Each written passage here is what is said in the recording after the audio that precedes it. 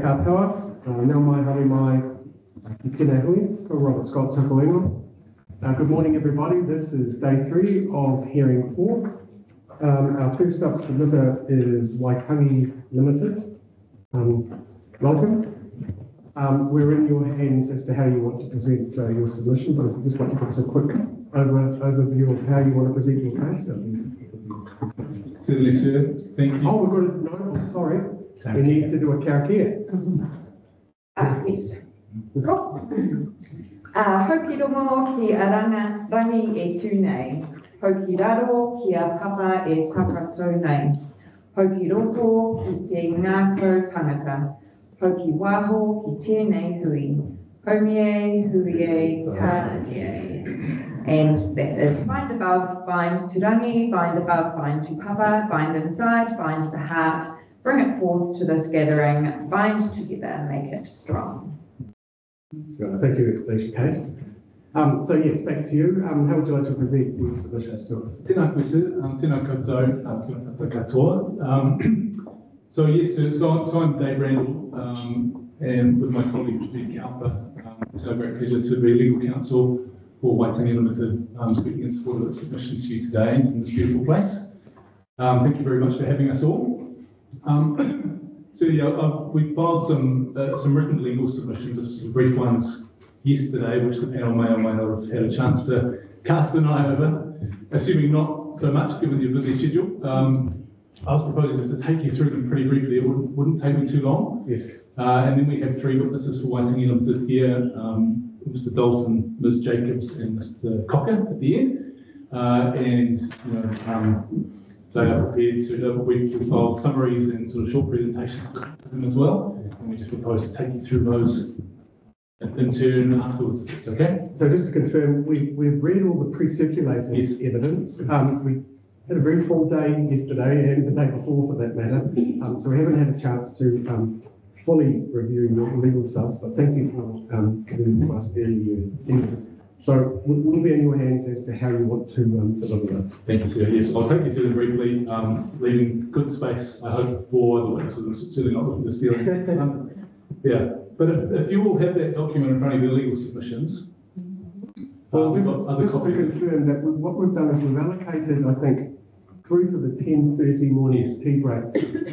So We've got a one and a half hour run, so, um, I we're use up all that time. Yeah, so I think I'll probably go short of my forty-five to minute application, but we'll, we'll see. Okay. Certainly happy to answer any questions along the way, of course, as well. Um, so, yeah, by reference to that, the, the legal submissions document, um, um, there are, you know, it starts off with an introduction, and there are paragraphs one point one to one point three, which I'll just speak to. Um, you know, they, they introduce, of course, a place, um, with which we're all very familiar, um, the Waitangi Estate. Uh, and the paragraphs introduce some administration and ownership, um, uh, details that probably perhaps are less familiar. Um, and it's a very interesting story, um, it- with some historical parallels, I might suggest, uh, between 100 years ago and the kaupapa of today, 100 years on, more or less. Which is to say that it was in the early 1930s that the arrangements were put in place um, for the administration of the Waitangi estate um, by, by Lord and Lady Bledisloe, who, who bought the, the land. I might suggest with a, with a view to the upcoming centenary celebrations um, in, in 1940, century of, the signing of Te Tiriti, of course, um, which became, as we as you probably know, um, a very significant historical event uh, and celebration for this country. Here we are, uh, and, and sorry, in, in those arrangements and, and you know purchasing the land, um, basically investing it in um, preeminent local people and people from around New Zealand and entrusting in them the administration of this very special place for the benefit of us all. Um, special legislation was created, uh, which enshrined a trust deed, um, which really it- it kind of it made it its own thing, you know, um, and empower these these trustees to look after this land in an efficient way for so so we can all enjoy it. Um, uh, as I say, with an eye to these centenary celebrations. Here we are 100 years on, um, Of course, uh, you know, 2035, we've got the bicentenary of the the signing of Te Whakaputanga. Five years on from that, of course, the bicentenary of uh, Te Tiriti. And again, you know, th- these, these events are looming very large um, on the, on the, the horizon of Waitangi. Um, and it's in that context that we come before you, um, you know, acknowledging that you're doing your own thing, setting a district plan for, for, for the whole um, of the Far North. And I guess asking you to perpetuate the arrangements that were put in place back then, which is to, in, a, in an RMA planning frame, to set up a framework um, that allows the trustees and Waitangi Limited um, scope to administer, to do its thing in an efficient way for all of our benefit. Um, I'll pick up at paragraph 1.4 where I talk about the special significance of Waitangi, and that, that will be obviously well understood to us all. Um, certainly won't labour the point, but it is that, that specialness is the foundation of, of our case, really. It's, it's that specialness, the uniqueness, uh, and the importance to all New Zealanders is the reason why Waitangi comes to you asking for a special um, framework to be put in place to allow sufficient management. And, and it's worth reflecting, I think, it's not just, it's, it's obviously so significant in terms of our nationhood uh, and our Māori relationship, um, but, but a, a place of nationhood for, for, all New Zealanders and indeed for visitors to New Zealand. It's, uh, um, it's so significant in that respect. Um, but in terms of your kaupapa, it's also worth reflecting on the importance of Waitangi for the district because it's, you know, it is the major draw card for people to come to North. Um, and it's a major employer in the district as well. So it's uh, significant on any number of levels. And um, picking up at 1.5, so Waitangi Limited has made this submission, um, and, and the relief it seeks relates solely to the estate, to, to the Waitangi estate. Um, it's not seeking to alter outcomes, influence plans.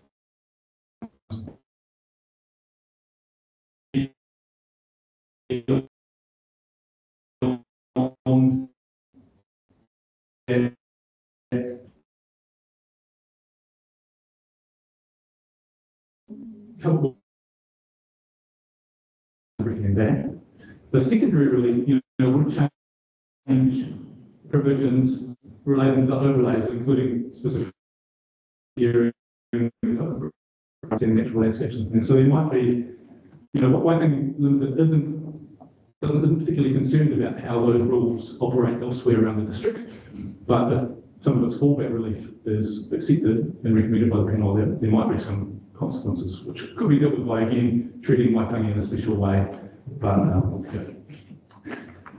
um, the, the, the, the basis of Waitangi Limited submission, and you will have read, as you say, so you've pre-read the evidence, um, and, and it's a point very clearly, I think, made by the witnesses, that the proposed plan as it stands is unworkable for Waitangi, uh, for Waitangi Limited. And there are kind of two main reasons for that. One is that it's uh, described as a planning hotspot, and it's you know it's, uh, it's, it's kind of a confluence of values and interests and activities all in one place um, that has led, you know, naturally and understandably to sort of layer upon layer upon layer of, um, of planning regulation, basically, um, which makes for a very, very complex situation. And to illustrate that, you know, there are three there are three zone, land zonings within the estate, um, including, I mean, the main one, you might say, is rural production. So, so the, the, the treaty grounds themselves uh, zone rural production. Know, I'm sure I don't need to make a point how it's kind of an anathema to what actually goes on there. And there are a couple of others. Uh, there's a, a mixed use zone, I think, with a hotel, there's a recreation zone. So there's, there's the three zonings. And then there are the overlays. So specific to this hearing, uh, the coastal environment, in the coastal environment, of course. Um, there's an outstanding natural landscape over the treaty grounds. Um, and there are a couple of ONFs in play. It's obviously a site of significance to Māori as well as others, and, and so on. And because um, in the usual way, the proposed plan, the, the, the interaction of these overlays, um, of course, set rules and things the most stringent applies to any particular activity. Um, even aside from the complexity, having to work all that out and um, once you go through that exercise, you'll find, and um, Ms. Jacobs, um, has this long and I'd suggest very powerful list of activities, common everyday activities that on any analysis, none of us would expect Waitangi Limited to have to go off and get a resource consent to undertake because they're so um, obviously necessary in order for people have a, a positive visitor experience, for example, in a special place. Um, yeah, there are these unintended consequences in terms of red tape and um, yeah, administrative RMA burden for Waitangi Limited that, that comes out of the, the provisions as proposed. Um, so hence, hence the submission from Waitangi Limited and, and Commissioners will tell you more, much more about this in a year's time actually, but there is a very elegant solution to that problem. Um, the national planning standards envisage this sort of situation, a very special place with this complexity and things that don't quite work. Um, uh, and that, that solution is special purpose zoning, and, and um, we'll tell you all about that uh, in due course. Um, because, of course, um, today today's not the day for that. So, so Commissioners, you will have, uh, you'll be aware of this, I'm sure, but um, of course, this hearing four is focusing on coastal environment landscape matters. I, I just want to say, I mean, if, if your, if your case is an either or case, it's like Yes. either we have the special purpose zone, and if not, we would like, um, special recognition, um, within the zoning and or overlay provisions, then, um, it might be, it might be helpful to us to at least indicate your, what case you're going to be bringing to us when it comes to rezoning, because that's a long way down the path Yes, um, know, and so it'd be good to have an idea our own heads as to what you're actually seeking. Um, thank you for that as we indication. move forward. I think Yeah. helpful. Great. Yeah, we, we were thinking the same. We thought that might be useful for you, but we didn't want to labour that point either because we're conscious you're dealing with the here and now of the coastal environment matters and landscape matters. So I just want to give you the confidence to talk about it, even though it's not the topic that's here. Grateful for that, so thank you very much. Um, so, yeah, look, I, I suppose in terms of this introduction, I'll probably hit paragraph um, 1.7. There, yeah, hearing 19. Uh, we will be coming you know, Ms. Ms. Jacobs has been developing, developing up some special zone provisions, um, tailored, bespoke, you know, for Waitangi Limited. Uh, there's a process to go through to finalise those provisions and analysis and draft, and then to talk about those, you know, of course, with the council team, um, of course, with, with Tangata Whenua, uh, and of course, with, um, with further submitters on Waitangi Limited's submission, uh, as well, which notably, I, I guess most notably, uh, includes Heritage New Zealand Pouhere Taonga. Um, yeah, and then, and then come back to you next year with a fulsome report on that, you know, provisions, um, section thirty-two analysis, you know, analysing the, you know, costs and benefits and all those sorts of things, the efficiency and effectiveness of, of what's being put before you, a report on the process of consultation that's been undertaken, um, and yeah, and, and, and we'll present that to you next year. Um, and, and I will get, I will get into that a bit more soon, just to explain precisely what that might look like. And then at one point eight now, there's a secondary relief point which is specific to, to this hearing. Um, and Ms. Jacobs and Mr. Cotton particularly will, will take you through the details of those. They, but I, I, I'd signal they are, they are sort of technical matters. I hesitate to say they're minor because, you know, they're, they're about issues like, for example, permitted building footprint. Um, natural landscape, for example, it's not, it's not a triviality, but, you know, um, as I want to signal for you, um, you know, they are down, down the sort of more technical end of the spectrum. So at one point nine, yeah, this, this gives you an overview of why we're here and what we're going to be presenting to you about today and in a year's time in that special zone hearing. Um, next, there are, there are four legal matters that I wanted to address the panel on very briefly uh, on the way through, and then we'll introduce the witnesses. Um, section two of the submissions, I'll, I'll skip over, sir, if that's all right with you. I'm very happy to answer any questions about it. Basically, we'll just set out there for completeness an overview of the framework that you will have to apply to your recommendations and the council will apply to its decision making in due course. Um, with all, you know, that stuff you, you, you will be well familiar with and have had a number of times already in this process, I'm familiar. Um, what we will, what I will signal though is that next year when we come back in respect of the special zoning proposal, um, we will walk you through just exactly why and how that aligns very strongly with, with the framework that you're operating within. You know, so for example, there'll be, a, like I say, a fulsome section thirty-two analysis, which tells you all about why, what Waitangi Limited is proposing, you know, furthers the purpose and principles of the Act, the higher, higher order directives, including the coastal policy statement, you know, is relevant to what you're thinking about this week. Um, the costs and the benefits, the efficiency and effectiveness and all that. So we'll, we'll tie it all back to that framework for you. If I could step forward to section three, it's on page five of the document. Uh, there's the good old scope issue. Um, there are two angles to, two, two, two issues, I guess, relevant to scope that you'll be thinking about in, in respect of all submissions. Uh, and I just want to address you briefly on, on those two. The first, first of those issues, and I'm conscious again, we've had submissions from other legal counsel, from other submitters and indeed from the council about this sort of stuff, so you won't be hearing anything new. There's the age-old issue of whether a submission is on the plan change, you know? Um, there are cases like, um, Clearwater motor machinists, with which you'll be very familiar. You know, where, where there's this principle that a submitter has to seek relief that's basically on a spectrum between the status quo and what the proposed plan um, is putting forward as a- in terms regime. Um, but you'll also know that in a full plan review, and this is Justice Potter's decision in the Albany, Albany case, on a full plan review like the Far North is undergoing now, um, those principles don't really hold so much. Uh, and there's very broad scope for a submitter to seek relief um, that isn't within that, that band.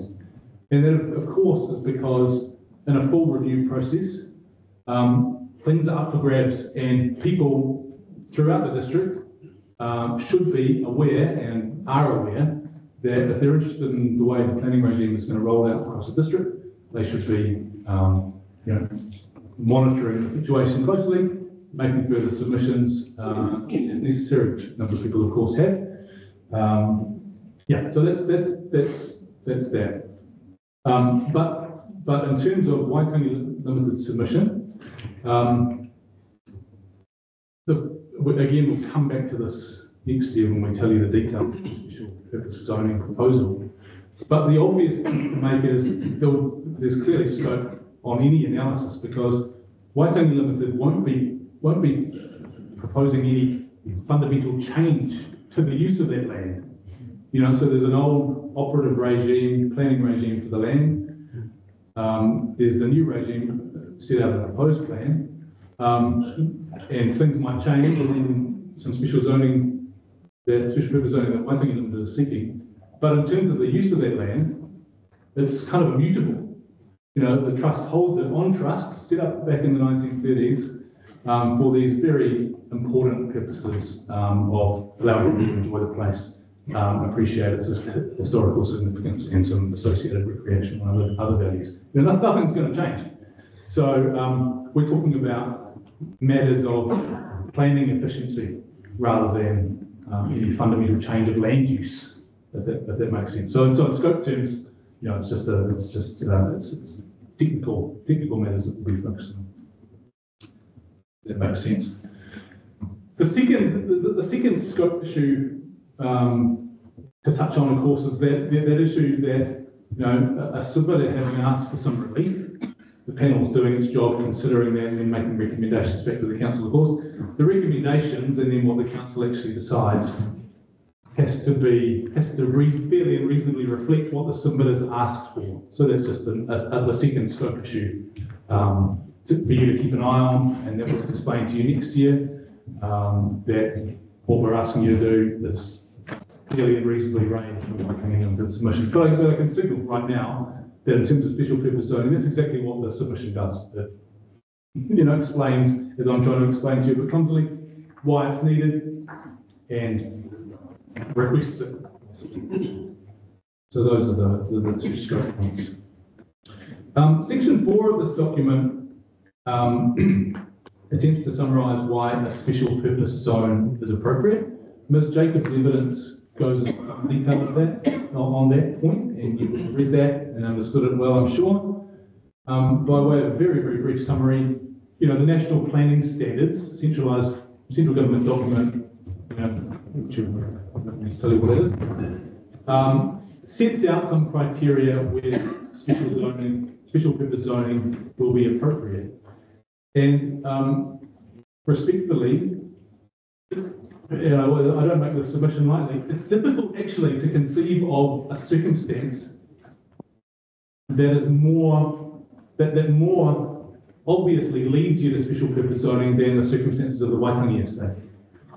Um, the three criteria are significance, you know, the importance of this particular place or the district, you know.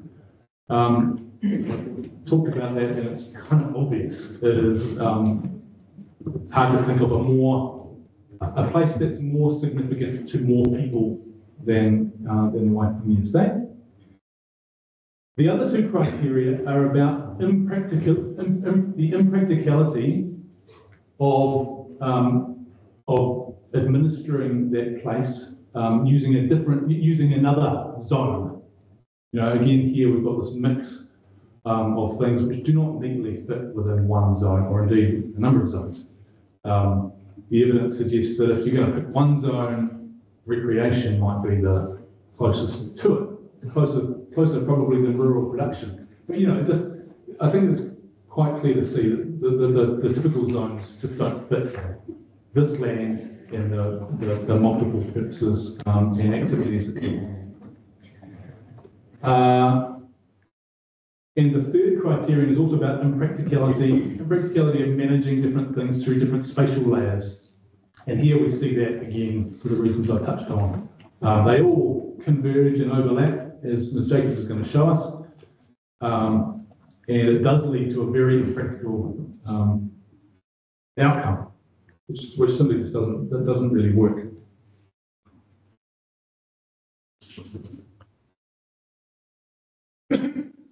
Um, so picking up at, at 4.5, that impracticality is evidenced, as, as I said before, by this, this long list. Here are four examples at A to D, but there's a much longer list in Ms. Jacobs' evidence at paragraph 8.15, um, listing activities, which, as I say, on any analysis, none of us, I think, would expect Waitangi, Waitangi Limited to have to go off and get released these, um, these very minor but works, footpath upgrades to improve disability access to buildings, um, planting trees, uh, expanding, even, even very small scale expansions of existing car parks, installing bench setting. Um, I would note that, you know, in terms of this hearing four, um, the coastal provisions, the provisions around outstanding natural landscapes and things, those provisions are not necessarily the ones that are triggering these consent requirements. Um, hence the sort of difficulty of trying to fix this problem incrementally. Actually, a lot of the rub for a lot of these, I think, comes from the provisions relating to um, sites of significance to Māori. Some of them do. Uh, and so that's a matter for another day and another hearing. But I kind of make the point now that, um, that, that there's an illustration in there, I think, that, that the Waitangi estate is quite different from a lot of other sites of significance to Māori. I think we can probably understand that intuitively. Um, where, for example, digging holes, erecting structures like benches, um, may well be inappropriate. Um, but Waitangi Limited those things are absolutely essential uh, for this place to be appreciated by the people, which is, you know, it's very, it's, it's now, it's the very reason for it being and held by the trust for those purposes. I'm getting, getting into the detail probably for another day, but yeah, I hope you understand the point is this yeah, confluence of interests. They all layer up in, in a way that's um, very, very hard to untangle for expert planners, let alone for lay plan users and readers of the plan.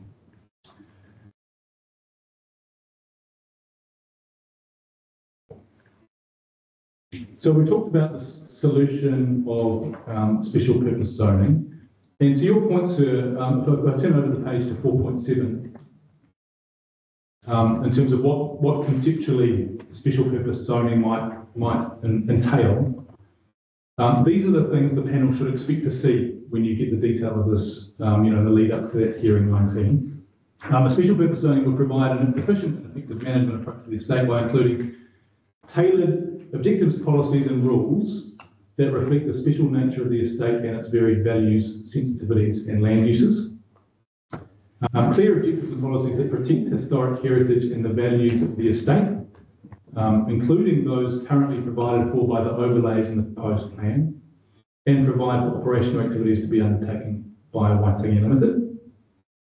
Um, and rules that provide appropriate protections for different parts of the estate and also enable operational activities to be undertaken without, um, without requiring consent for those activities.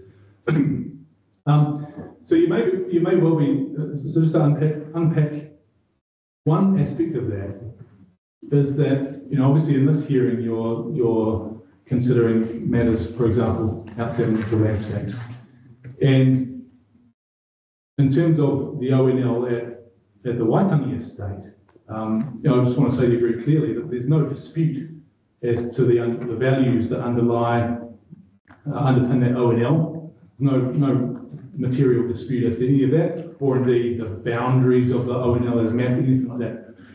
Um, so there's no, uh, so, so just to, to get that clear in your minds, the special purpose zoning that we'll come back to will respect that and um, work with that.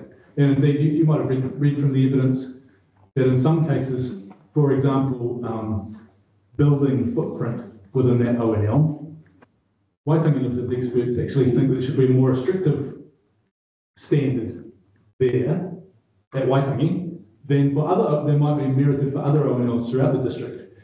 Um, yeah, all, all of which is just to say that, that, um, the special purpose zoning, you know, it's not, uh, you'll, you'll understand, uh, it's not about a developer of land coming to you and asking for a sort of a black box development to try and cut away red tape and maximise profits. That's exactly what this is not about. This is about Waitangi they're trying to just put a bespoke um, framework in place that respects all of those values and its different sensitivities to different parts of the land, but enables things in an efficient way where appropriate.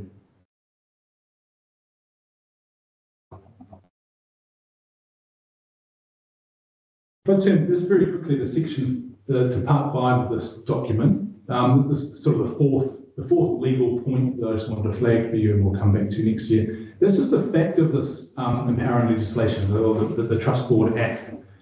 Um, again, uh, often people will come to you asking for relaxation of, of, of the plan provisions to enable some commercial purpose and fair play to them. That's absolutely fine. Normal part of the process, but that's just not the situation here.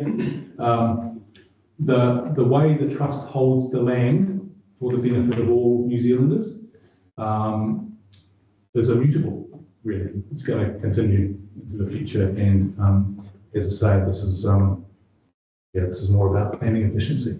But but that Trust Board Act is important, um, including because it under, underlies underscores rather the uniqueness of this site. You know, I'm not sure that you'll be considering through submissions that has its own legislation with that public benefit purpose baked in. Um, yeah, and, and we're simply looking for a planning framework that kind of al- aligns with that well. We'll come back to that next year, as the same. Um, section six is about the matters specific to this hearing, and I, I actually, the signal at the start, so don't really have any legal, particular legal issues to signal for you, but very happy to, um, to deal with any as they arise through the morning, answer any questions you might have about those things. Um, Ms. Jacobs, so her summary, which we'll get to, um, relatively soon, she's got a table at the end of that, which, which the panel might, might well be assisted by Ms. Jacobs taking them through that. That really does break down uh, in terms of the secondary relief specific to this hearing, um, all of the, the, the points raised in Waitangi Limited submission, the points where, as between the reporting officers now and Ms Jacobs, there's, there's alignment and highlights the residual, the few residual areas of some disagreement, and as I say, yeah, they're- um, so, you know, that is, table we'll get to in due course.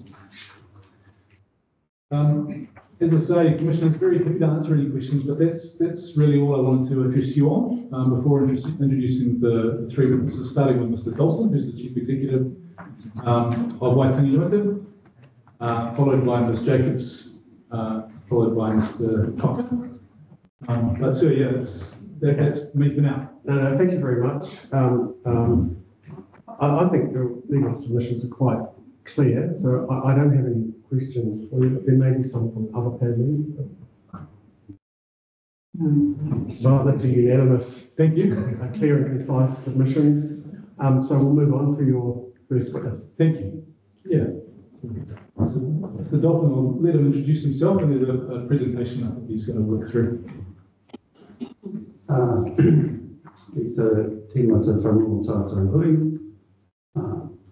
Ko hau e mehi atu ki a koe te he mana o te puari i Robert.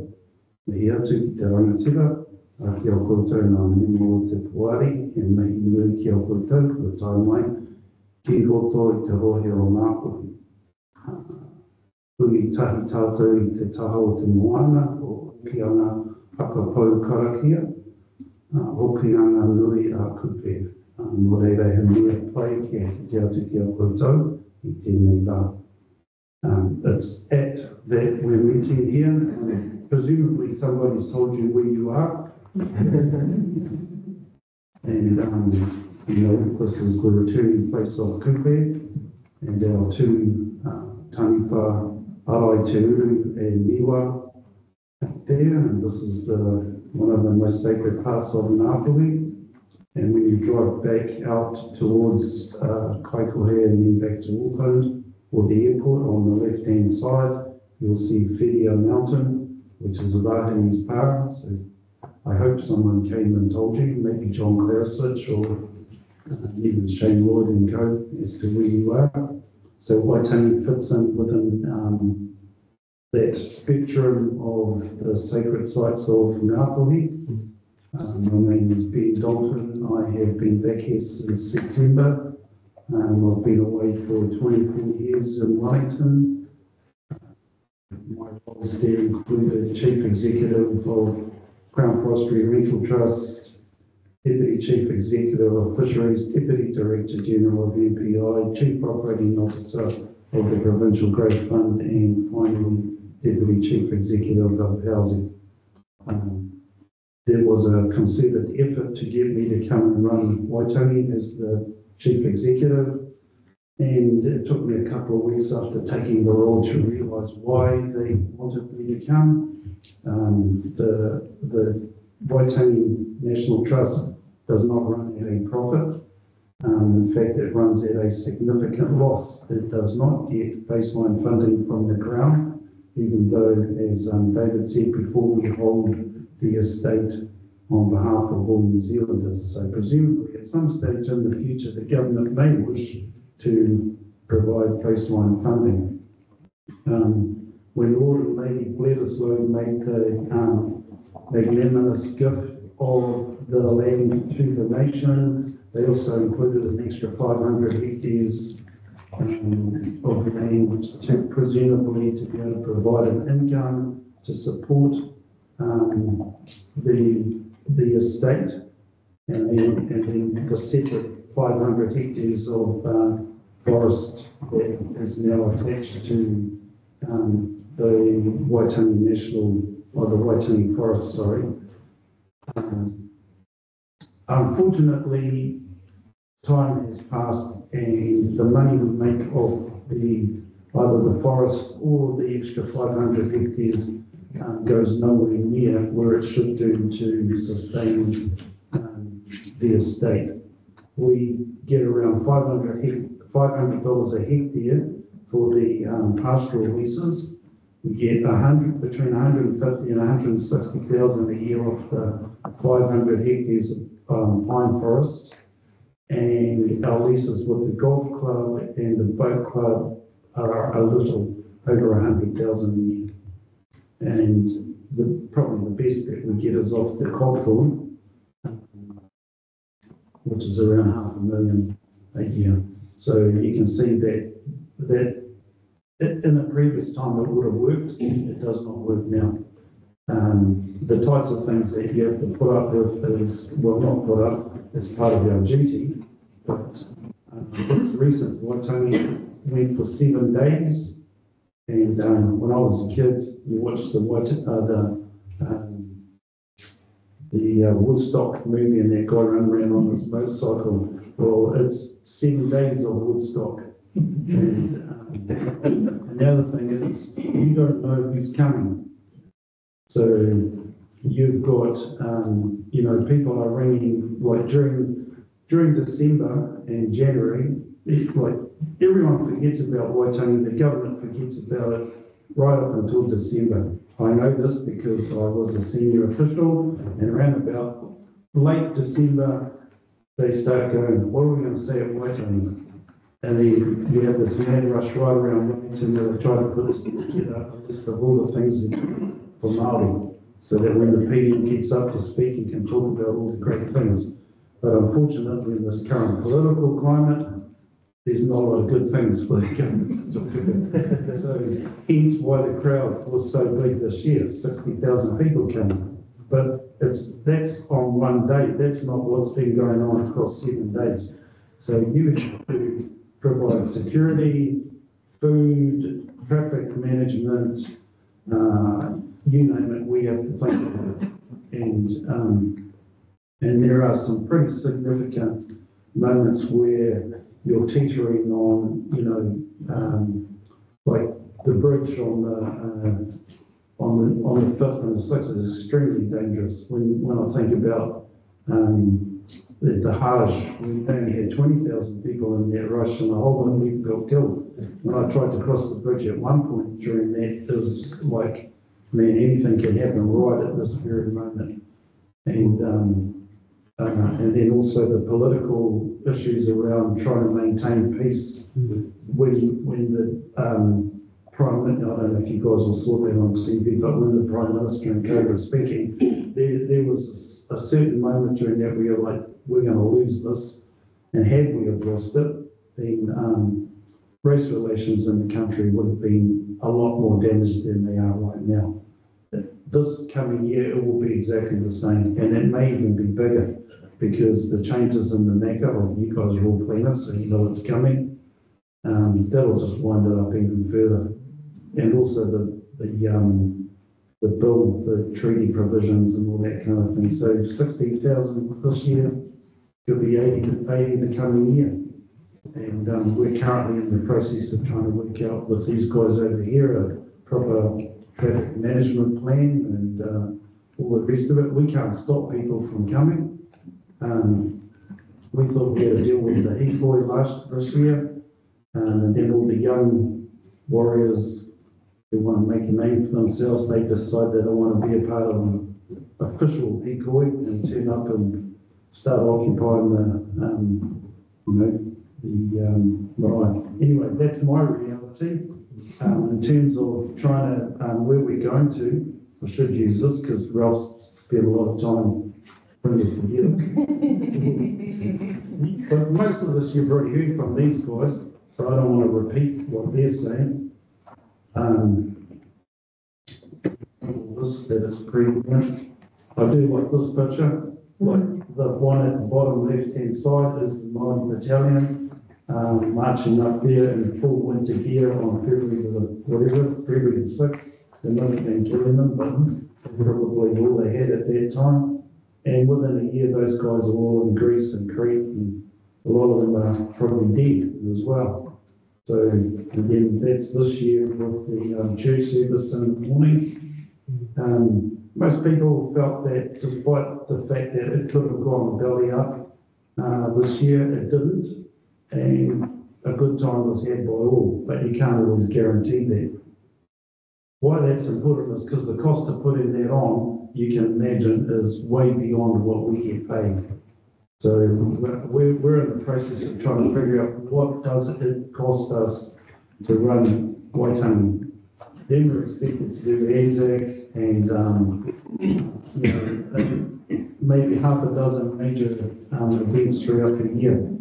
And obviously, within the next sixteen years, we're gonna have Waitangi twenty forty. And, um, trying to get the government to think about putting some investment in now. Hopefully, we've got a, um, regional infrastructure fund application in, and if that gets funded, that'll be enough to, um, uh, that house there, the meeting house, the floors had it, so we're gonna have to put a new floor in. The, um, the actual Waitangi, um, uh, house itself, the treaty house, uh, the roof needs to be replaced. And obviously, you can't just go and put, um, you know, corrugated iron on it, you gotta do it properly.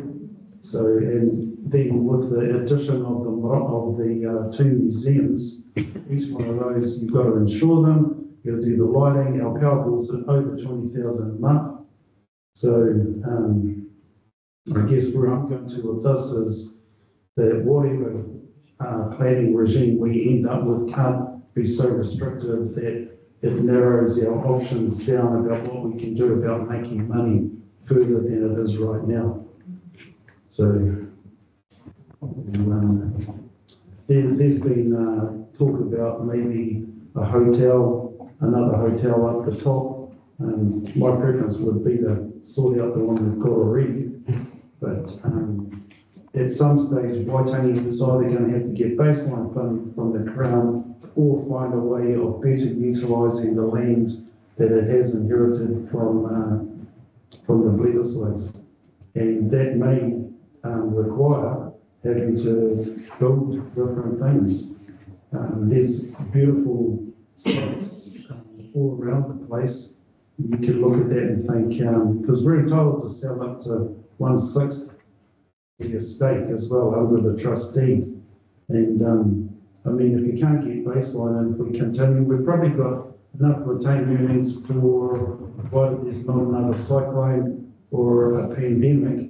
Uh, we've probably got about two years, um, maybe eighteen months funding left.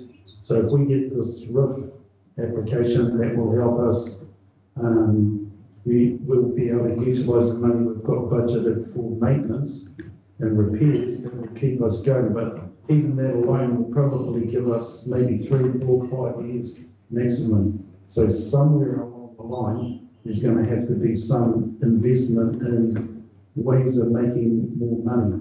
So, um, when people celebrated getting the, uh, Te Rau which is the Māori Battalion Museum, and the other one, the earlier one, the time of uh, Steven Joyce. Those are great things, and people who come love them.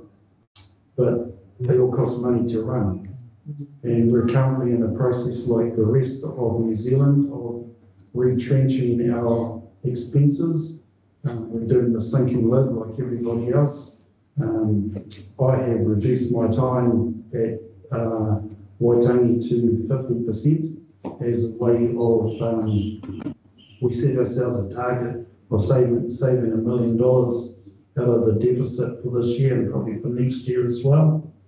Um, and if we do get the RIF money, well, that will alleviate to a certain degree. We've also got Foundation North and everybody else, but those are only stopgap measures. So somewhere along the line, this thing is going to have to be able to wash its face. the tourism um, issues, you're all familiar with that. There's really fantastic um, Lonely Planet ranked tourism feature down the road here in Manea, but they're in the same boat.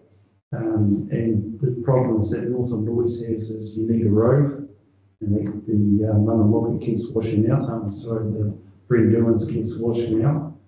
And hopefully, uh, we can get the road up to at least Whangarei, four lane highway. But then I saw yesterday Northport went um, wants to appeal that. So you'll muck around for the next ten years with people appealing. And, um, I'll be long gone by the time the road comes, but there you go. So anyway, you know all this about the sites of national significance and all that kind of thing. This is a famous photo of, uh, Apirana Ngata leading the, um, Māori Battalion haka, um, on February the sixth, eighteen forty. Ralph just explained to me the only reason he's doing that is because the actual uh, Ngāpuhi minister was crook, so being a good Ngāti Porou, he took advantage of the situation. Thereby enshrined himself in history. And a good friend of mine, Te Rau Kupina, um, wants to, um, leave the haka in, in, um. Anyway, there you go, that's about it. We've got also eighty, um, two thousand and thirty-five will be the, um, two hundredth anniversary of Whakaputanga. Um, That's like a religion up here. And the Waitangi Tribunal obviously, um, found that Ngāpuhi did not cede sovereignty, um, at the signing. Um, the filing also says that over time, the Crown did assume sovereignty, but at the moment, nobody in Ngāpuhi worries about the second part, they only worry about the first part. So that will be the basis of our, um, the treaty settlements going to have that in there somewhere. And all, and Waitangi is so central to, um, He Whakaputanga, Te Tiriti, the Treaty of Waitangi, however you want to look at it going forward. Yeah. And, uh, all New Zealanders are part, if, if your people have been here since, in, uh, from the early days, um, there is a high chance that they had something to do with Waitangi. And I can talk about my partner, um, when we first met and I brought her up here, she's out. And, uh, she said, oh, I've got no connection to the north. Um, and, but her father's sister married a Māori and had two kids. And during COVID, one of them had done all their whakapapa and it turned out that her direct tupuna, Robert, uh, Richard Taylor, um, was the person who handwrote Te Tiriti. So everybody has a connection to Waitangi and the truth. Anyway, that's my evidence. Kia ora. Kia ora. Well, thank, thank you very much for your presentation. Um, Thank you, Ralph, for your work. yeah, very, very good presentation, but well presented as well. Um, yeah, we just want to acknowledge the significant role that you have in, in what you do for all New Zealanders. Um, Waitangi is a very special place. I've been there multiple times. Been to Waitangi days, enjoyed both of them. I, I was there the year that the um, Maori Battalion New Zealand was dedicated. That was, that was really special. It's a very, very, um, very good museum. Um, so I think we all recognise uh, the job you do, and thank you for giving us the context of how you run it and the difficulties you face. Um, you have the word limited, uh, which sort of presumes that you're, you know, you're dealing with lots of money, but you, you've indicated quite clearly to us that you operate at a significant loss and, and you rely on the goodwill of central government and others to, to keep this very important uh, operating. So, Thank you very much for that. I'll see if any of the other uh, panel members have any questions for you.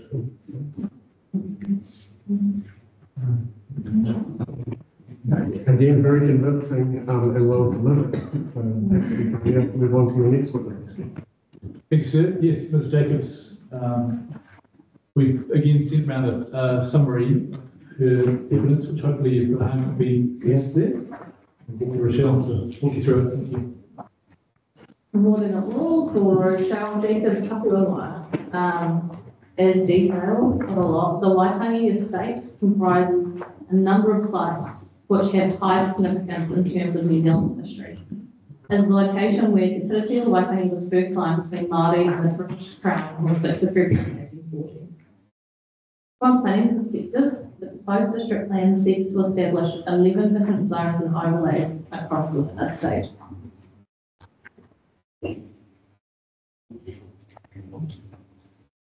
Um, as described before, there are three different zones uh, that are being proposed. Um, the first is the mixed use zone, which is the pink uh, zone there, which is covering uh, the Cotswold. Um, notably, there's also another smaller site there uh, next to the Cotswold, uh, which is the start housing for the Cotswold. Um, that has been zoned for production. Um, next is a sport and active recreation zone. That's the, um, the brighter green colour. That covers the, uh, golf course, but only actually half of the golf course. The other half of the golf course has been zoned rural production, as well as the treaty grounds and the remainder of the state. Um, it's quite interesting just going back and having a bit of a look at the previous zone history, suite of district plans uh, that have come out. And there's been a bit of a mixture from, from people over the years trying to decide what to do with Waitangi. Um, there's been, uh, like a conservation type zoning that was put across Waitangi at some point. Uh, there's been commercial zoning. It's every district plan, it seems to vary, um, but no one's really got it right. Um, in terms of the, the conservation zoning, it looked like they tried to put that across the upper treaty grounds in the operative plan, but actually they put it in the wrong location and it covers, uh, the bottom, um, part of the treaty ground. So doing resource consents at the moment, um, you end up having a bit of a split zoning anyway between general coastal, um, and the conservation zone. And so nothing, even now, really matches.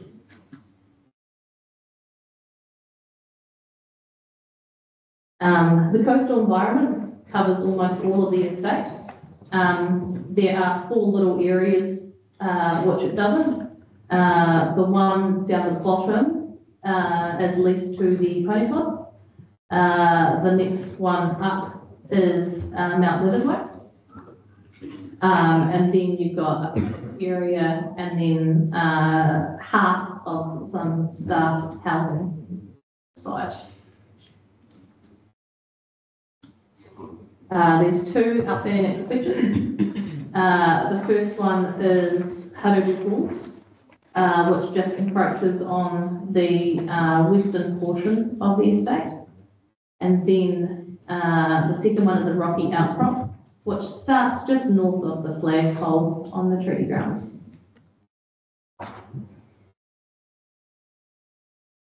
Next is outstanding natural landscape. Now, this doesn't actually cover all of the treaty ground. It covers most of it, but there is a little area of land that they, uh, when they released it in the regional policy statement, they didn't include. Um, which is just down the bottom, and notably, this, this is a new outstanding natural landscape. This isn't actually, um, mapped in the operative district plan.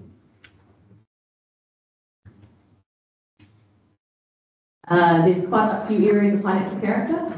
Generally, this covers areas of bush that are across the estate. And notably, a lot of this bush was actually planted between around the nineteen fifties to nineteen eighties. Um, if you look back at old aerials, most of the, this area, uh, was all farmland.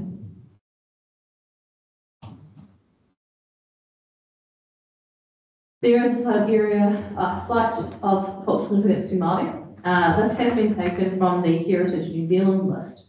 Um, it covers Te Pito Whenua, which is the treaty grounds. Um, what's in the, uh, schedule reflects what's in the Heritage New Zealand list, but what's on the map, uh, appears to be a bit of a mapping error because it only covers a very small portion of the treaty grounds, which is actually just below the uh, New Māori Battalion Museum. So that red circle, That red circle, that's not just a marker, that says that's the bit that's. that is Te Pito Whenua, which is the whole of the treaty grounds. Oh, okay. So i- in the actual schedule, it's listed correctly, but on the maps, it's incorrect. Yeah, I, I did get the, um, map from Heritage New Zealand. That actually differs from the outstanding landscape overlay as well. There's, there's just slight differences in what they cover, um, which is interesting.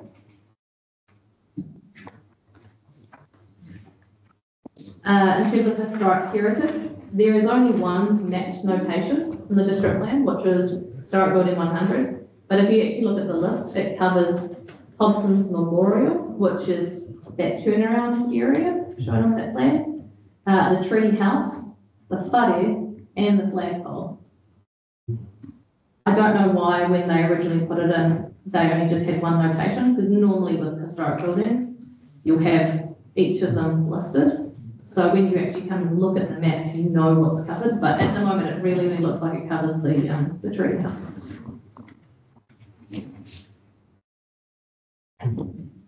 And just left this up there for to talk about but that's an aerial of the whole estate, uh, just so you can see the, the land that we're covering. Um, a bit of background for me, I've been doing resource consents for Waitangi Limited for a number of years. And as I've been going through and doing these consents, even in the operative plan now, um, there's, there's just so many issues. And that they, they're picked up for really minor things, even now, and what's coming in in the operative, plan, uh, in the proposed plan, it's just adding more to that. So some of the rules that are in the operative plan at the moment, um, are causing us to get resources in footpaths, for example. And that's where things are heading. It, there was not going to be change. Um, in terms of planning, I've found no other site in the whole district which will have a similar number of zones and overlays that impact on it. Um, as discussed, all these overlays serve a particular purpose in covering different natural and built environment features and values. In practice, with a large number of overlays which impact upon the treaty grounds, uh, you know, it's going to result in plan, complicated planning assessments and minor activities are going to trigger the need for consent. Some examples of this are untaken repair and maintenance that Ben's been speaking about, that's desperate. Um, this activity is offered as a permitted activity. However, once the, that mapping era, era, era that I uh, noted before is fixed in regards to such a cultural significance to Māori, as that particular rule is not unlisted activity within the chapter, it defaults to a discretionary activity. Another example is installing a new structure such as an outdoor bench seat, um, as it's not to farming, is within an outstanding natural landscape, and is not being sought by the requesting party, this would also trigger consent. I acknowledge some of the changes detailed in the section forty-two A reports, removing the ancillary to farming requirement will assist with the uh, coastal environment and outstanding natural landscape triggers for this particular example, but nevertheless consent will still be triggered. One other example to consider is whether the planting of a digitory tree is considered to meet the definition of earthworks. As if this is the case, this would also trigger consent under the site cultural significance to There are some, these are some of the more perverse outcomes we're seeking to avoid for this process. Waitangi's main relief is to implement special purpose zone. This special purpose zone will cover the whole state. The special purpose zoning will ensure bespoke rules can be written to give effect to the various overlays. It is proposed that these rules will in most cases take precedence over the many overlays which apply to the site, meaning that when assessing a proposal at the estate, you would look at the special purpose chapter rather than all the various zone overlay chapters. Special purpose objectives and policies will also apply to the estate. These objectives and policies will provide the site with the mana and the acknowledgement it deserves. These tailored rules and framework ensure future development need not be considered through the lens of a production zone. These objectives and policies would reference the purpose stated in the Waitangi National Trust Board Act, which sets the scene for Waitangi and how it operates now and into the future. Across the estate, there are quite different areas of development and historical significance. As a result, we'll be seeking the inclusion of subzones to best differentiate between these areas. While this matter will be discussed at length in hearing 19 later next year, it is necessary to set the scene as our primary relief does and will continue to impact on the various public hearings being heard throughout this process. In regard to our secondary relief, in most cases, I am in agreement with the recommendations made within the section 42A reports, as this provides some relief for those rules which is currently drafted catch some of those minor activities. There are a couple of tweaks I've recommended, such as to the colour scheme standard for clarification, to include reference to the outstanding natural feature categories in the schedule, as this is referenced within the rule as proposed in the section 42A, and inclusions to the setback from near home or spring standard. I comment on the work that has been done specifically for Waitangi in terms of sensitivity ratings, where built development could have lower thresholds in specific areas. Rather than seeking changes to district-wide rules to accommodate this, the inclusion of this specifically for the Waitangi estate would be a better outcome. And I'm happy to discuss any of these changes with the panel in terms of detail. Yeah, well, thank you. Well, we sort of, we, we look forward to seeing what you come up with later on in the hearing process. But, um, it, it, you know, it's sort of helpful to indicate we want to go. Um, and obviously a lot of work will need to be done. Um, and we'd probably encourage you to engage with council officers, um, uh, along the way, um, so that they're advised, um, uh, with where you're headed. So would you be looking at, obviously, I think you're, you're looking to create your own zone. How would the overlays fit within the special purpose zone? Would you have the overlays removed? I think it's important that you recognise the overlays. So I don't necessarily want to remove them. More what I was thinking of doing is saying that the special zone would take precedence over those overlays, but still ensure that whatever rules we are writing are in line with those. And so you'd just be referring back to one rule, say for example, your um, building size restrictions, for example, rather than going to the, un- the, an underlying zoning and all the various overlays, you would just look at one particular rule, which would encompass all of those overlay um, steps. Okay, and, um, obviously, the, the, um, the, the estate is, is really large, and and of course, most people just think it's just the treaty grounds, but it's probably three times that, if not more. That So I'm assuming your special zone, would your special zone have like subzones. sub-zones or precincts or whatever? Correct, it would have subzones. Um, because, because it's so large and because things vary across the estate, especially for the treaty grounds, we are looking to have something that's quite restrictive there. And then, uh, out from that, you'd look at, you know, something around the Copthorne, you'd look at something around like sport and recreation as well. To kind of take into account those existing uses, but also have that overall overarching objectives and policies that ensure that you always refer back to the treaty grounds, because that is your central location that has your historical significance.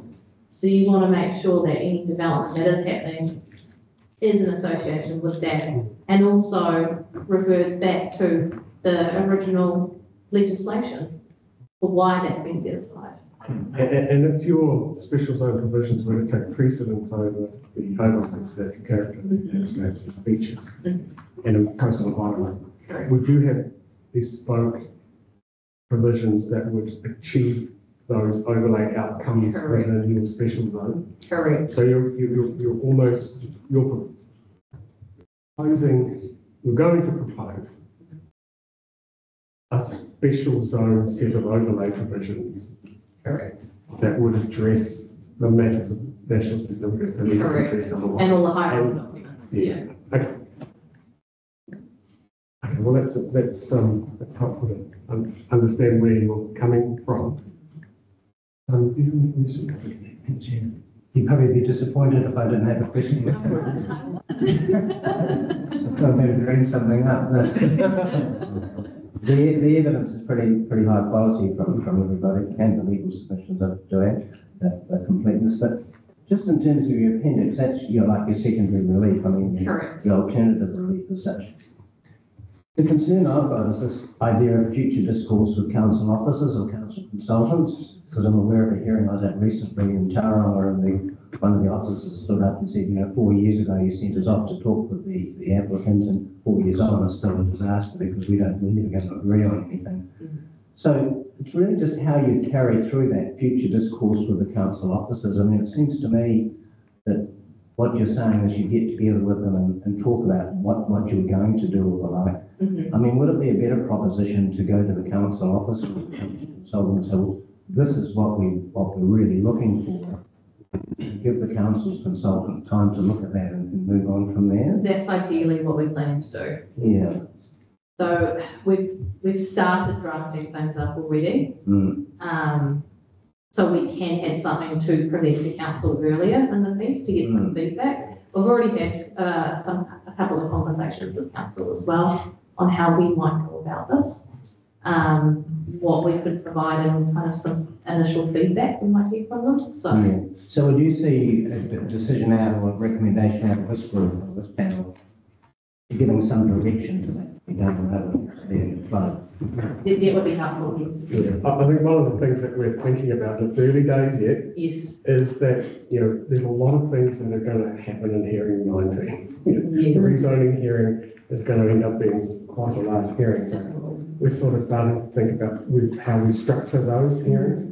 But also too, you know, with the special, the special zone people, who are having to write a whole set of new provisions, um, perhaps setting a direction for early engagement with council, potentially conferencing. Mm-hmm. Um, whereas you've got a, a, number of other submitters who just want a different zone that's already in the plan. So, on the face of it, that sounds like an easier prospect to um, to deal with ev- as evidence. Whereas you've got a whole lot of zones that aren't in the plan yet and have to be, you know, and have a much higher burden of section 32 that section 32A analysis required, which would suggest, you know, you would want longer lead in time. I think that's what you're getting at. Yeah, and I, and I think the unique nature of the site deserves, you know, a unique approach um, rather than trying to tailor what's happening in the Waitangi yeah. into a series of zones and overlays that the council's plan has at the moment. And that's probably been the difficulty over the history of, of dealing with Waitangi. Um, yeah. So, I mean, the opportunity we have is that we've got a reasonable amount of time between now and then, although I'm sure time will fly. Oh, it will. I I would probably say, well, are we there already in a year's time? But I think we have some opportunities. So we're thinking about, um, we're going to work through that with, um, you know, parties and see how, if we can't give some clearer direction, that'll be assistance to everyone. Perfect, thank you. No, it's fine. It's fine.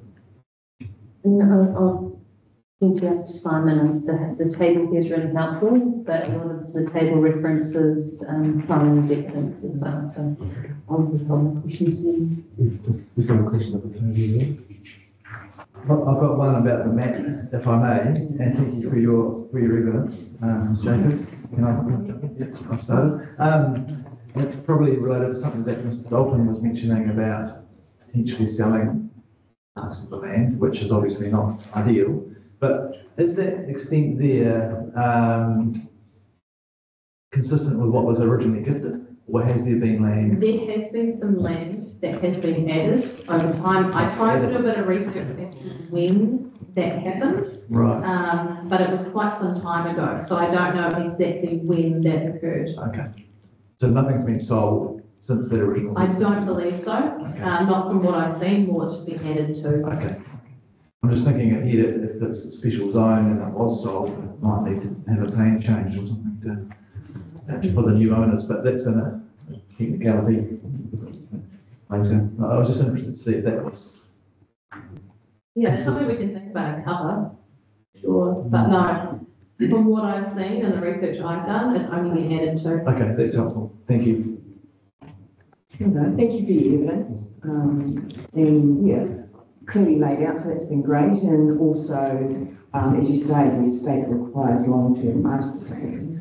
Um, yeah, just like set of controls. And you raised that the site of significance that's on the, um, on the treaty grounds is from Taonga. What I wanted to check was, would you be looking at getting, um, getting that as part of your master planning or your wider considerations of subzones, getting that corrected in collaboration with Pouhere Taonga, because it's in their schedule and it's come through. Would you be looking at getting clarification around a few of that sort of stuff? Oh, I think it should be fixed for sure, definitely the mapping, because it needs to match up with what's in the schedule. Mm-hmm.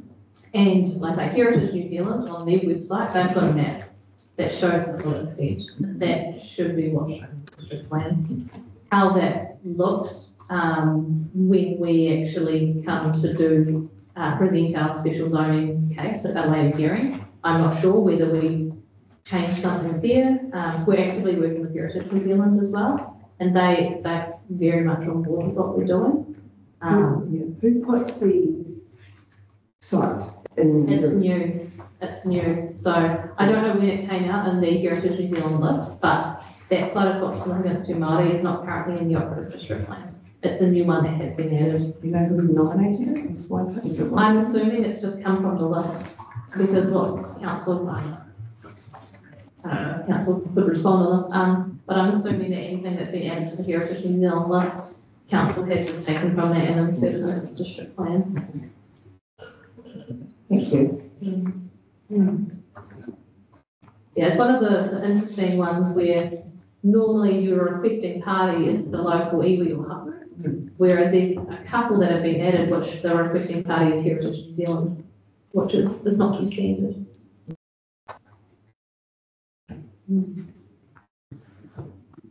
Okay, thank you. I don't think there's any more. Can I just indicate the questions that I asked following the, the landscape uh, evidence? Um, there's in particular, um, the buildings within the setback from mean high water springs. Um, so I wanted to hear the evidence on that before I ask those questions. Um, also, um, it talked about, um, earthworks and vegetation clearance specific to the estate. Uh, and further to that as well, the variance in the different building heights, um, relative to the evidence in the special landscapes. Yeah, perfect. I might be able to answer the buildings, uh, setback from Water Springs. Um, when I originally did my submission, I noted, uh, a couple of examples that I also thought should be, um, excluded. And, um, the response was that I hadn't given enough detail for those. So what I've done in my evidence, um, is I've actually given reasons why I think those should be exempt. And it's things such as like for restoration and enhancement purposes, like your pest fence, fences. Um, things such as natural hazard mitigation, like your sea walls, because generally you have regional resource consent for those. Um, post and wire fences for the purpose of protection from farm stock. Currently, if you were to put in a new fence, that's within thirty metres from the coast, you would need resource consent because it's defined as structure. Um, lighting poles by or on behalf of the local authority and footpaths and paving, no greater than two me- metres in width. I don't know if you've looked at your designation, the council designation for roads, but that only applies to roads, not any other infrastructure such as lighting and footpaths. Meaning that, especially because, you know, a lot of council roads are quite close to the coast, they are going to trigger consent. Um, where it may not be road, it may be, you know, a council reserve. Um, you're not going to have any exemptions for those. Um, also just your boundary fencing and walls. At the moment, boundary fences aren't defined as a building, but with the introduction of the definition of structure, things such as your boundary fences are going to be captured. So those are just a couple of examples I noted. I think those pictures, are really helpful. The, the other matter that was brought up, um, from Ben is regarding the events.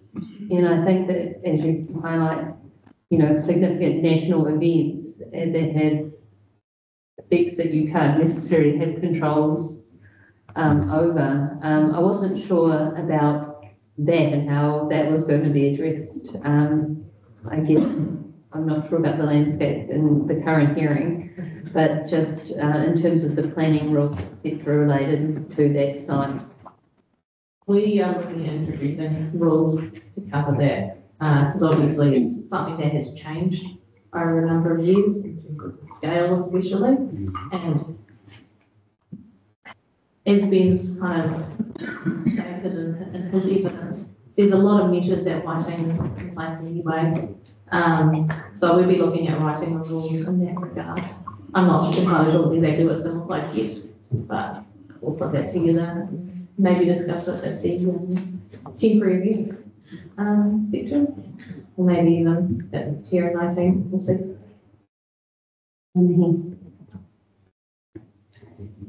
Okay, well, thank you very much, Ms. Jacobs. So we now um, have the evidence of Mr. Cocker.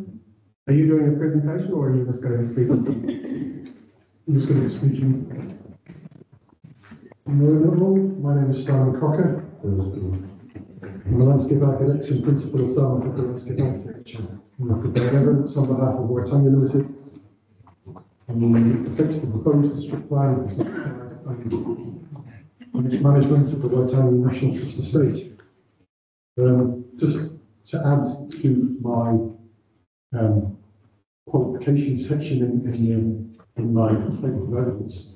Um, I noted on day one of the, uh, of the hearing, there was some discussion about the uh, Northland Mapping Project, um, which found the outstanding natural landscapes and features. Um, I was part of the team that um, formed the Northland Mapping Project team. So um, my role was two landscape architects, myself and Farrell. Mike principally focused on the far north and I was focused on Kaipara and uh. But it, just in terms of the process, I can answer questions if, there- if there are any outstanding questions on that. Um, my summary statement will focus on Waitangi Limited's secondary fallback relief with respect to the parts of the identified proposed plan that apply to the estate.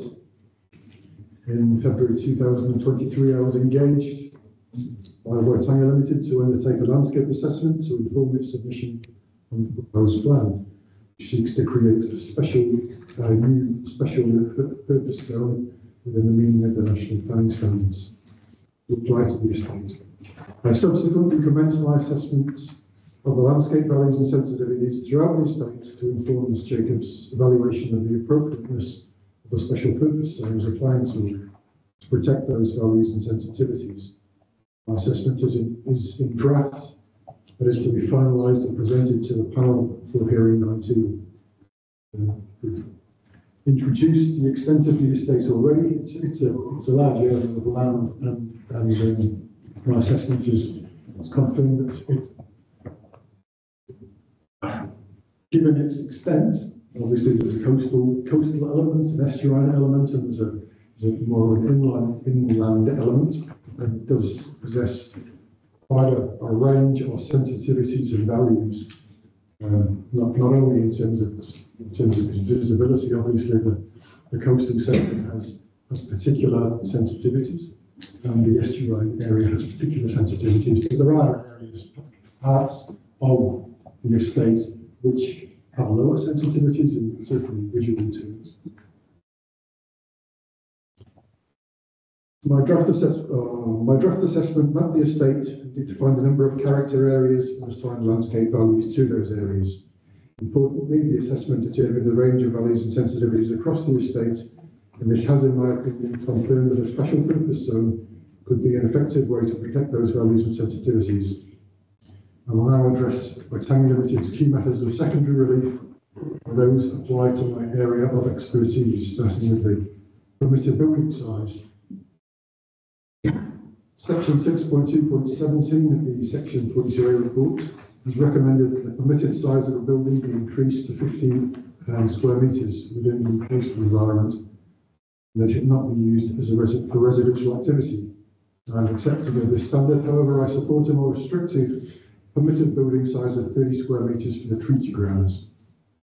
Although the treaty grounds has an outstanding landscape classification, the character and values of this landscape differs from the majority of the ONL.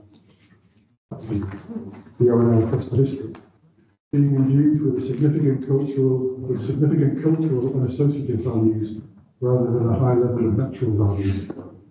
The more restrictive permitted building size is proposed since the treaty grounds are of a smaller scale than the majority of the ONL within the wider district. The small scale lends the landscape a finer grain. This finer grain, cultural landscape, is more sensitive to change occasioned by built form, where this may detract from the interplay between the existing historic and cultural structures and the areas of open space and vegetative framework. And just on that, I was involved in the um, in the development of the Te Reo the um, Māori Battalion Museum, um, and gaining consent for that. And with a lot of um, consideration given to how that building would fit into the vegetative framework of, of the treaty grounds. As far, in, insofar as identifying individual trees, because it's sitting within, within an area of, of vegetation, identifying individual trees that would be retained and how we could just manipulate the footprint so that it was integrated into that framework. And turning to height restrictions to buildings and structures, the section forty-two A report relies on recommendations of the Absalom landscape architects to justify retaining a five metre height restriction within the coastal environment. In my view, while in some more visually sensitive locations, maps in the appendix to my evidence, the five metre height control is appropriate. In other less sensitive, lo- uh, visually sensitive locations, the height control should be less restrictive. I agree with the opinion expressed in section three point two C of the um, Absalom report, which states that the new development within ONL and ONF has the potential to undermine values identified for protection and support the permitted height limit. The five metre limit is relatively restricted and is challenging to com- comply with where a building is to be constructed on a slope. As a result, the restriction has the potential to force the, the location of a building on flatter land such as the ridge crest. Notwithstanding that, I accept that the recommended discretionary status will allow for assessment of the potential adverse effects on landscape values. I am therefore of the opinion that a five metre height restriction is appropriate where an area has been identified as having a high or moderate sensitivity. That's referencing my um, assessment. Outside of these areas, I'm of the opinion that an eight metre height restriction would be more appropriate.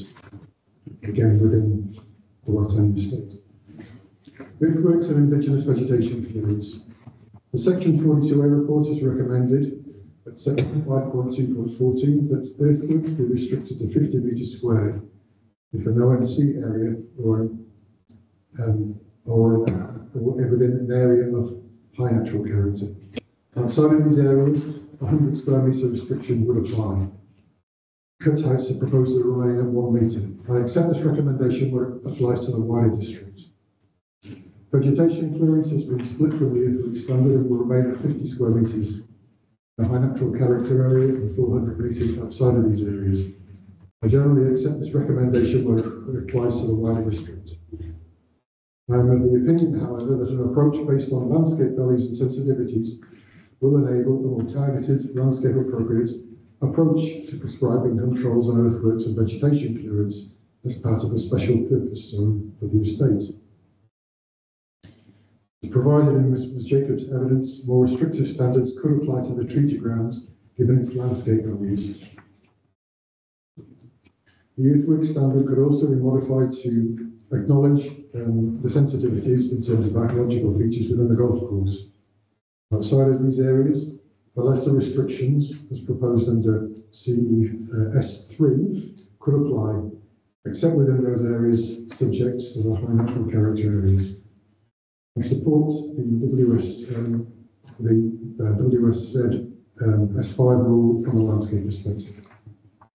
Thank you, thank you, thank you, Mr. Cocker. Just on that last one, what is WS? Waitangi special. Special zone, right, so that's part of. Right. I guess, um, interesting with how you mentioned that you were involved with the Northland Regional Mapping Project. That was at that regional scale. Um, That's correct. yes. And then now we're dealing at a district scale, whereas the, you know, basically brought that mapping down to the localized context, and now you're dealing at a, almost a site-specific scale, um, where you can get to the detail that is recommending eight metres, for example, building height in certain locations, but what I'm hearing you say is that that would only apply in a special zone sort of situation, because it can't apply as a district-wide blanket approach, and, and you're saying five metres would be, more, the more appropriate way to go. Is that what you're saying? Yes, that's right. I mean, I mean, saying that height limit, five metres is, quite a blunt instrument, um, but a, a necessary one. Um, and as I mentioned, you know, um, five metres is, is quite restrictive on, on slopes, but, but yet, but yes, uh, essentially what my assessment of the estate is doing is, is is going through the process that, that a landscape architect will go through in assessing a particular site. Yeah. So, so being able to look at the state, the estate in that level of detail enables the mapping of of the higher sensitivity where that five metre Yeah. restriction should apply. Yeah. And then the lower sensitivity where. And if we could do that across the whole district, you know, we might have variation. And, it's, you know, that's, it's a lot of work, but that would be. yeah, but, what you've also said is that in a- another site, with a five metre height limit applies, you could, as a discretionary activity, look to do an eight metre building perhaps if it was Yes, an appropriate location. through design or just through the more sensitive placement of the building. Okay, well, that clarifies things for me, thank you. And I guess a lot of it will come through into that next schedule for this uh, discussion that on. Um, No other questions from me, thanks, Chair. Thank you. I just had a supplementary question to that relating to the, um, the height definition and using the rolling height method for the, the maximum heights, because that was a discussion that we did have, um, through other submissions. Um, do you have any comments about using that method versus other methods? Would that, as you say, relatively restrictive and challenging to comply with on, on slopes? Um, but it's the rolling height method which is generally applied. Um, and, and that, in my opinion, works, works quite well. Um, and that comes, that's usually specified as the height above existing ground, so there's potential for people to dig down a little bit and, and then go up a little bit. Um, so, so I guess I mean, I would support the the rolling height. Rolling height method. So, so you think because people can go down, because you're saying that even though people can go down, it's still quite restrictive because it forces people to go on flatter land because it's easier to file them flatter land? Um, yes, I mean, in, in most cases, people are looking to, to minimise costs. So the excavation Hmm, good point. costs, or also, if you're, if you're stepping, you can, you can possibly achieve those out, the, the five metre height limit by stepping the building down the slope, but again, again, that, that increases costs, so, you know, quite often people just seek to, to minimise costs by going onto the flatter land and minimising excavation. Yeah. Um, it's not really a question about landscape, but just to highlight um, the report writer that the last evidence about the definition of structure, I think was a really important matter that was raised in the planning evidence. And I think really highlights, um, some of the issues with that definition, so just highlighting that. Um, probably be looking at further insight into that definition and its, and its practical applications, um, not just for the but things, and also the, um, the designations chapter and what's actually, um, provided for within that for other activities than just the road, you know, the hiking footpath, et cetera. Uh, I think that was.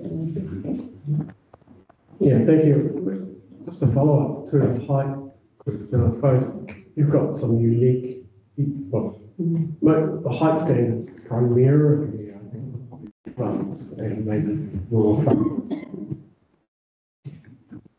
And because I think that's what's anticipated district-wide in these overlay areas. Whereas the treaty grounds are, are, are erecting very unique buildings that serve a quite a different purpose. And I'm thinking about um, the two museums that are there, the later. How, how tall is the um, the Māori Battalion Museum building? I it was eight meters. Yeah, even though it's single story. Correct. And of course, that you, you need eight meters because you need to create a sense of space Correct. um, and what is generally considered sacred uh, celebration or commemoration of um, of military history. So it would almost appear that, again, it might justify why you may need a, special set of provisions because you're going to be erecting buildings that aren't going to, it seems to me, erecting buildings that aren't going to be anywhere else in the district and would serve, pers- uh, serve function maybe even unique or at least very quite exceptional. Okay, thanks. So you've given us plenty to think about. Um, and we do look forward to hearing from you further, further down the line. And again, we're going to be thinking about how we can better facilitate that process. And so we'll be in touch. So, Have you got anything else to add? Just two points very, very briefly, sir, thank you. And yeah, one was just, just picking up on Commissioner Kensington's question. Um, and so that was a very helpful exchange, thank you, um, to, to tie that off. Um, yeah, it's, it's awkward with the secondary, the primary, secondary relief thing. But I think to be, to be clear, because Mr Cocker has done that depth of analysis into the values within this particular site and the different sensitivities and things, um, our focus is on the special purpose zoning and that, and, and, and what Waitangi is trying to achieve will be presented to you and will be achieved through that. But if that were not to find favour with the panel in due course, then yeah, the secondary relief is, you know, is to nonetheless reflect the different sensitivities across the, this site, um, to make tweaks specific to what, to lighting, lighting, if that, if that makes sense. You know, it allows, for example, an, you know, high build, you know, Almost as a, as a, a line item in the, in the table of the rule. That's, that's right, okay, yeah, but that's, that's clumsy, and, and Yeah. hence, hence why the focus is really on a bespoke solution for the site. I was just wanted to be, try and be as clear as I could, it's not the opposite, just in terms of the and secondary relief. And so the, the other point was just, just to come back and, and say, yeah, thank you again for your signal around process, and we've been very mindful of that too, we understand, we're very much looking forward to working with the, the Great Council team on, on this proposal.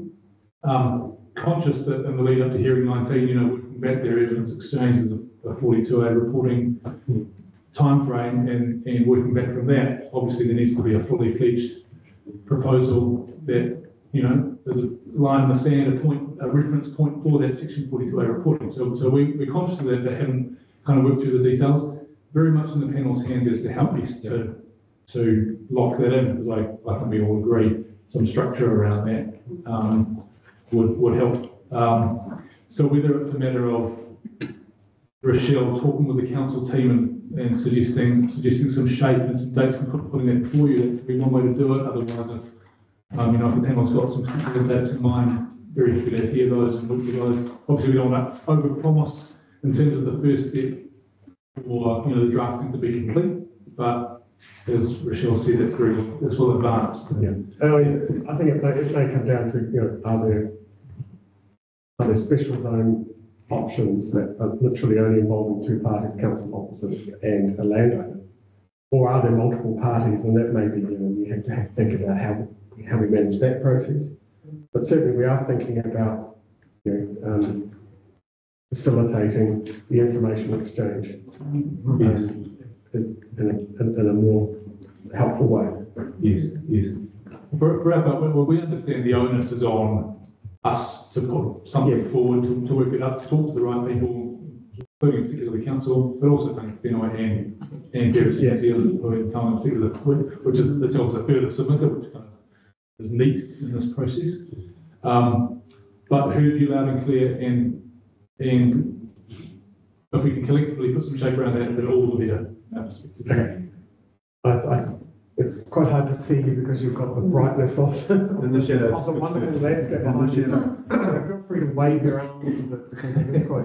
I was patiently waiting to, for, for Waitangi to um, complete. Um, but just to note that there are perhaps some things that we haven't yet shared with the panel in terms of our approach towards these matters. Yes. Um, that perhaps we might just throw, cast a little more light, so to speak, on it um, as we get towards the end of this week. Uh, and the hearing this week, uh, we have actively, um, I understand Ms. Worcester's been in contact uh, with uh, Waitangi's representatives. I myself have also touched base and sort of given them a high level indication of, of perhaps what we're looking to do. Um, we have advanced, I guess, um, to points around the allocation of responsibilities within the teams around who's going to do uh, which parties. So this thinking is already really quite well advanced, um, and we're just looking to turn our minds to the sort of specific um, requests and advice that we might give to a whole range of people requesting, uh, particularly rezonings, uh, particularly more significant ones, perhaps not all parties, um, to, I guess, make it a more efficient and effective hearing process for uh, ourselves in the panel and also the facilitators. So we have turned our mind to it, we have done, we, we haven't just thought about it, we're actively doing things, um, yeah, to move those things along. Well, that's, that's really encouraging hear, because I think we're all on the same page on that basis. I mean, what we don't want to do is just rely on the exchange dates that you would have with just normal provisions and then having a raft of evidence in section thirty-two analysis and provisions within a really, really confined period of time when we have literally twelve months uh, available to us. So, um, okay, well, we'll, we'll we'll engage, you know, with council officers and other, other submitters to see if we can um, sort of formalise um, the structure of the process. And we'll be interested to hear your further thoughts on that too. Are there Any other points you'd like to make? Uh, not today, sir. If I could just respond, sorry. Yes. Uh, and to Felicity's question in regards to the differences in height. Um, in the operative district plan, we've got the mean height, um, method and so the rolling height method. Um, at the moment, where a proposal may only just slightly breach the standard for height, you can use the mean height um, method on slope. And that can mean the difference between needing resource consent or not. Um, in most of the coastal areas at the moment, the permitted standard is eight metres. So with that added restriction of five metres, um, it's likely that we will see quite a number of more resource consents required. If you look at the rules as proposed now, um, in the coastal environment, um, basically residential activity is going to require resource consent anyway and have visual considerations given to it. So maybe some additional thought is needed around whether or not for just a minor infringement, where the mean height method may assist. Maybe that could be something to think about as well. Because it may mean the difference between only just one rule breach as opposed to two. Mm-hmm. Look, uh, uh, if I could just finish by saying, look, thank you very much again to the panel, um, for hearing us. Sorry, we've got a few, few minutes over, so thank you for committing that. Um, you know, it's been our pleasure to be here and look forward to assisting you through the through the process. Okay, thank you. Um, so that, that, that brings us now to the, the morning tea break. We are looking to have a twenty minute break. Um, our next submitter is Mr. Mr. Malcolm. Yes. Right at the back there. Mr. Malcolm, are you happy to present your submission at eleven? Yeah, fantastic. Okay, we'll, we'll take a morning tea break until eleven o'clock. And thanks again for your, um, really well presented submission. Thank you. We're adjourned until eleven. Stop recording.